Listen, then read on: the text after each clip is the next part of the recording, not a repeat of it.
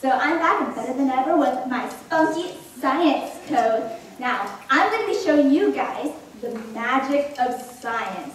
Now, when we think about science, we normally don't associate it with magic, right? Science is more like analytical and concrete, but magic is completely out of this world, like Neverland.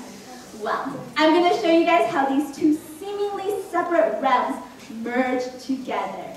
So over here, I have my very first demonstration for you guys. It's called hydrolysis. So I have three red solo cups. One, two, and three over here. Now over here, I have a water bottle, which has just normal regular tap water in here. What I'm going to do is I'm going to pour this water into one of these three cups, and then I'm going to shuffle it. You guys are going to keep your eye on that cup, and after I'm done shuffling it, you'll tell me where the water is, okay? Ready? Yeah? Got this. Okay. So the water is in this cup right here. Let's keep an eye on this.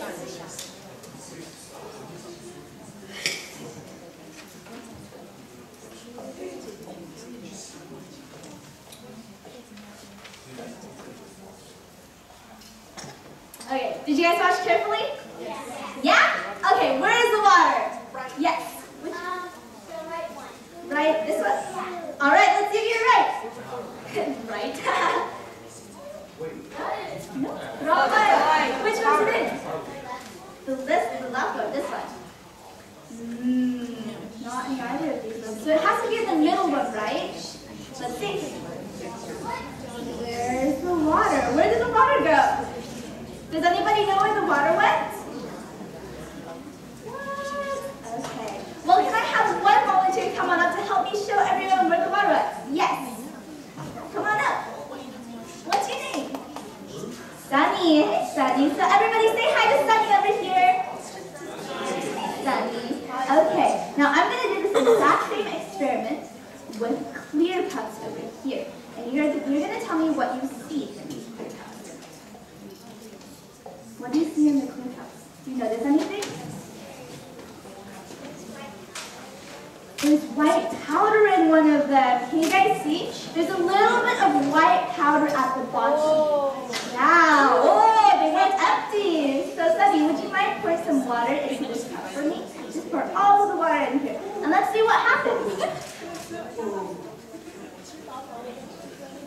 What happened? What does that look like, Sunny? What does that look like to you? It looks like ice. Let's see if it's actually ice. Can you put your hands like this for me? I'm going to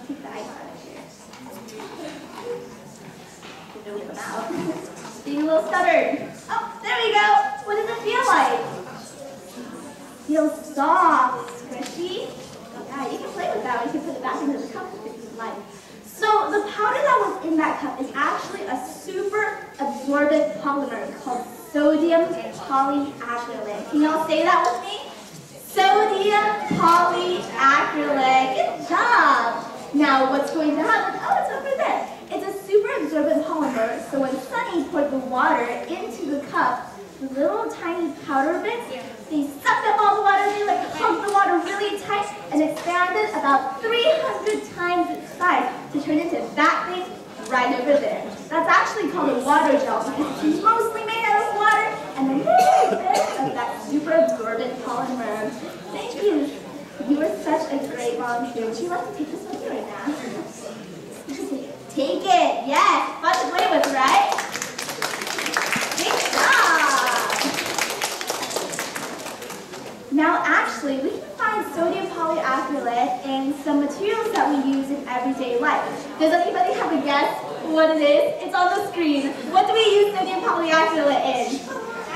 Diapers! Good job! Yeah, good job! It's actually used in disposable diapers as can be seen on the screen. So you know like the bottom of the disposable diapers where there's a little bit of cotton? There's actually some sodium polyacrylate in there. So when a baby goes and does his or her business, the urine is going to be sucked up by the sodium polyacrylate and turned into water gel. So it's not going to leak out of the diaper. So if you wanted to do this experiment at home, you could just get out a disposable diaper, cut out the cotton, and if you put it into a plastic bag and shake it up, the powder is going to separate from the cotton. And then you can wow all your friends and family with this trick, yeah? Yeah, all right. So you guys ready for the next demonstration? Yeah. Yes, yes. For our next demonstration, we are going to be using these red and green Christmassy colored things over here. I'm gonna need three volunteers for this. May I have three volunteers? Oh, okay, yes, you three, come on up. so, say hi to Sunny again. And what are your names? My name is Angela, hi Angela, and Morin. Morin. Okay, everybody say hi to, again, Sunny, Angela, and Morin. Morin. Morin? Am I pronouncing this right? Morin. Morin. Cool. So, let's see. Morin, what's your favorite color out of these two? Green. Okay, so you are going to help me with this green side. So in a little bit, you and I are both going to be blowing into these bags at the same time, okay? So what I want you to do is you're going to hold this bag, and when we blow into it, hold it close to your mouth and just blow into the bag, okay? So can you hold on onto this? And then I'm going to bring this end of the bag over. So do you want to help hold this end? Can you? Okay, yes. You want to come in front of the table so everybody can see you? Perfect. And let's scoot over just a little bit. Let's scoot over this way so everybody can see you. Perfect. Okay, now Angela, would you like to be the tail bearer of this bag over here? Let's come around this way. Do you want to stand over here so it's like we're all stretched out? Perfect. Now hold it very, very straight. So when we hold the bags will be straight, okay? I'm to make sure there's no air in your back, so you don't get a head start on me, okay? Perfect. And I'm to make sure I don't get a head start on you over here. Oh, wow, thank you. This side. Hold on to it really tight. Thank you. Perfect. Okay, so now I'm to need everybody in the audience's help for this one, okay? What I need you guys to do is when I say go, you guys count down from five.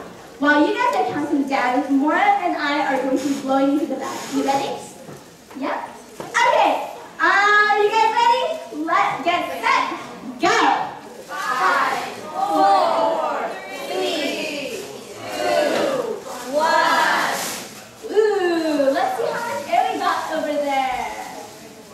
Let me just tie this up real quick. Let's try it yours too. Let's see how much air you got. Eee. Oh, nice. You got a lot of air. I'm going to tie this for you, okay? Wow, good job. So let's look at the air side. You got so much air in there, but oh, whoa. These, these, this one has a lot of air in it. What, what happened? How was I able to get so much air into my bag? You got a lot of air into yours too. I'm really impressed. But wow. Okay. I actually used a trick to help me blow up my own bag. I'm gonna tell you guys this trick. So when Moran and I are were blowing into our bags, did you guys notice anything different in how we held the bag? Anybody notice anything different? I'll tell you the trick. I told Moran to hold the bag really close to her mouth, right? I didn't. I away from my mouth. So what happened was that let um, the bag, it made an area of low pressure inside the bag. And so then, because the bag was away from my mouth, the air around the bag could also go into the bag to get rid of the low pressure that was created inside the bag. And so it's not just my breath inside this bag. Over here, it's just Lauren's breath inside the bag. This bag is full of my breath and the air outside. And that's how I was able to blow it up